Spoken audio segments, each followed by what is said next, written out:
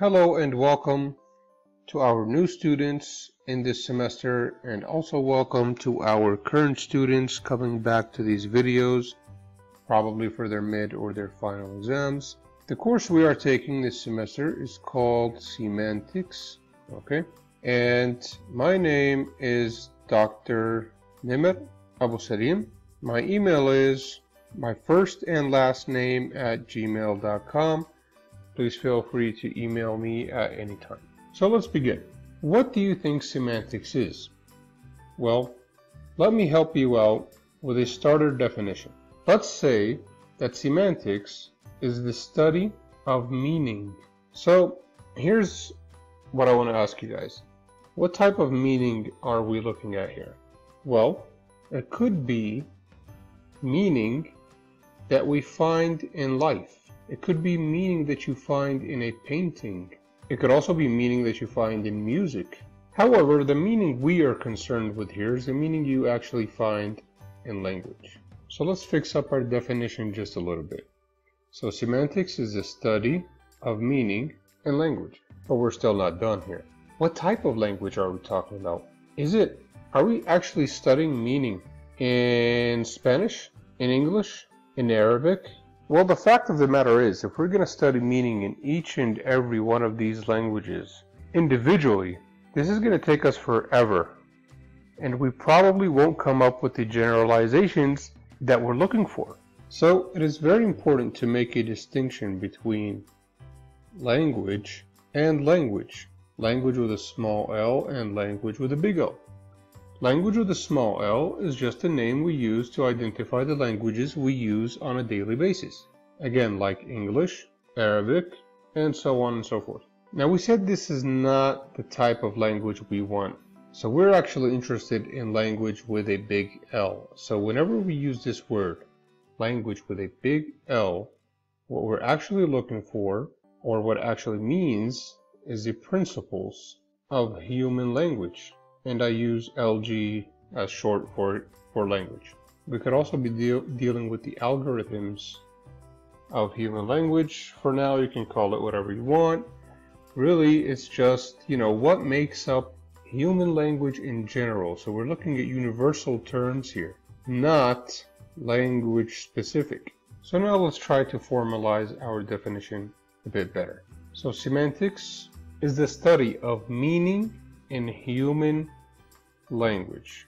Meaning in human language. There's one more content word, let's say, that we've left out, and that's study. What do we mean here by study? How is this a study? What branch of science is semantics a part of? So, when we talk about semantics as a study, what we're really talking about is that it's part of the study of linguistics. Now, linguistics is the study of human languages. And actually, this should be a big L. So let's start with a little example. Lily ate the apple. What is this sentence made of? So what is this sentence made out of? Well, as we can see, it's made out of words like Lily ate the apple. Um, these words are built together to make up phrases, for example, like this noun phrase right here. Okay, but Going on to a, a little smaller level, we have sounds. So L is a sound, I is a sound, right? T is a sound, H is a sound. So all of these components combine together to create language. So let's take a look at exactly how that happens. So language is divided up into three basic components, the first of which is sounds. The second part you could imagine, is form. And the third part is meaning. So now under sounds, we're actually dealing with the individual sounds of the language, like we mentioned the L sound in lily, the um, the sound in the word the, okay, and the p sound in the word apple. So the branch of linguistics that studies sounds is called phonetics. There's also one more branch called phonology, which is closely related, but that's kind of out of the topic right now. Next we have form. Now after we have these sounds, we need to form them up in a certain way, right? So first we need to make words out of them. And then we need to make these words combine together to form phrases. Okay, so what we're looking for here is words, and then we're also looking for phrases, and these phrases actually combine together to give us clauses, which are basically sentences. Okay, so the, the part of linguistics that studies words is called morphology, and the part that studies phrases and clauses is called syntax. Now we move on to the part that interests us in this course, which is meaning. Now meaning can come about basically on the sentence level, or it can come about above the sentence level. So meaning is basically studied by two branches of linguistics, the first of which is semantics, and the second of which is pragmatics.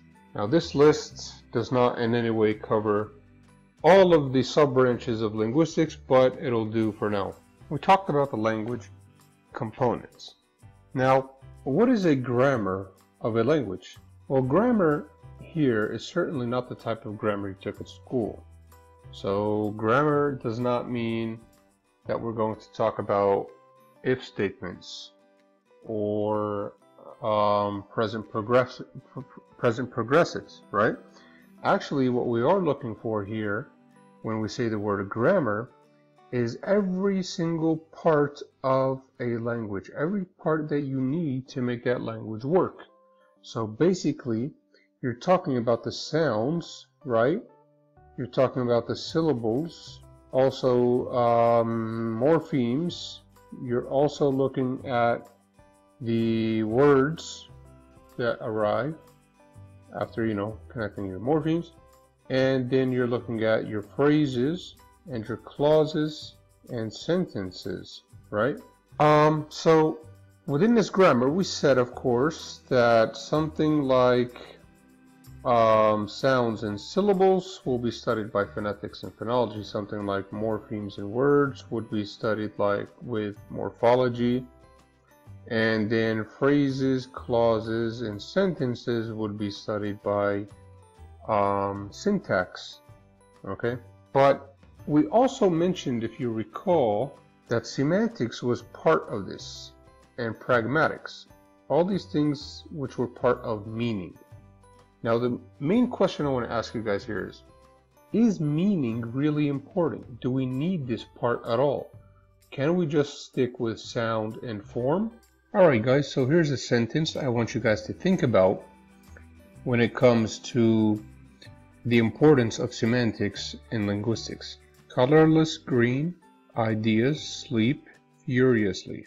What does this sentence tell you about the importance of semantics to language?